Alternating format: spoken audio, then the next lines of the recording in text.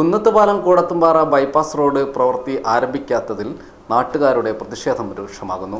കഴിഞ്ഞ രണ്ടു വർഷത്തിലേറെയായി ഈ റോഡിന്റെ യാതൊരു പ്രവൃത്തിയും നടന്നിട്ടില്ല. വളവണ്ണ ഗ്രാമപഞ്ചായത്ത് ടെൻഡർ നൽകി കഴിഞ്ഞിട്ടും മാസങ്ങളായി പ്രവൃത്തി ആരംഭിക്കാത്ത നിലയിലാണ്. കൂടത്തുംപാറ റോഡിൽ നിന്നാണ് ഇപ്പോൾ ഞാൻ സംസാരിക്കുന്നത്. ഇവിടെ ഇപ്പോൾ നമ്മളിപ്പോൾ കണ്ടു ഒരു ഈ റോഡിന് വളരെ ശോചനീയാവസ്ഥ. വളവണ്ണ പഞ്ചായത്തിലെ തന്നെ ഏറ്റവും പ്രധാനപ്പെട്ട കാരണം കുന്നത്ത് നിന്നും ബൈപ്പാസിലേക്ക് കണക്ട് ചെയ്യുന്ന ഈ റോഡ് ബൈപ്പാസിൽ ബ്ലോക്ക് ആയാൽ ഒരുപാട് വാഹനങ്ങൾ പോകുന്ന ഈ റോഡ് വളരെ ശോചനീയമായ അവസ്ഥയിലാണുള്ളത്.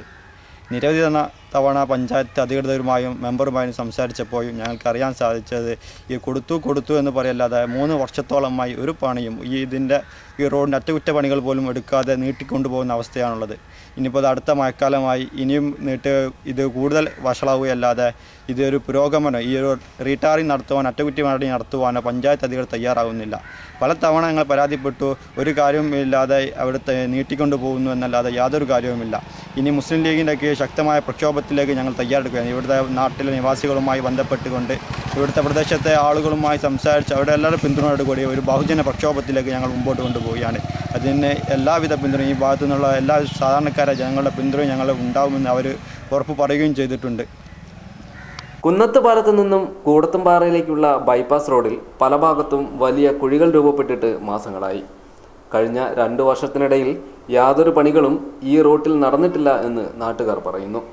കുന്നത്ത് പാലത്ത് നിന്നും എം ജി നഗർ കോളനിയിലേക്കും കൂടത്തുംപാറയിലേക്കും എത്തിച്ചേരാനുള്ള ഏക മാർഗം ഈ റോഡാണ്. എന്നാൽ റോഡ് പണിക്കുള്ള കരാർ നൽകിക്കഴിഞ്ഞെന്നും ഉടൻ പ്രവൃത്തി ആരംഭിക്കുമെന്നും ഗ്രാമപഞ്ചായത്ത് പ്രസിഡന്റ് സുഗതൻ പറഞ്ഞു. ഗ്രാമപഞ്ചായത്ത് കഴിഞ്ഞ സാമ്പത്തിക വർഷം രണ്ടായിരത്തി പതിനാല് പതിനഞ്ച് പദ്ധതിയിൽപ്പെടുത്തിയിട്ടുണ്ട് കൊളവണ ഗ്രാമപഞ്ചായത്തിലെ എല്ലാ പൊട്ടിപ്പൊളിഞ്ഞ റോഡുകളും റീടാറിംഗ് ചെയ്യുന്നതിന് വേണ്ടിയിട്ടുള്ള ടെൻഡർ നടപടികൾ പൂർത്തീകരിച്ചു കഴിഞ്ഞിട്ടുള്ളതാണ്.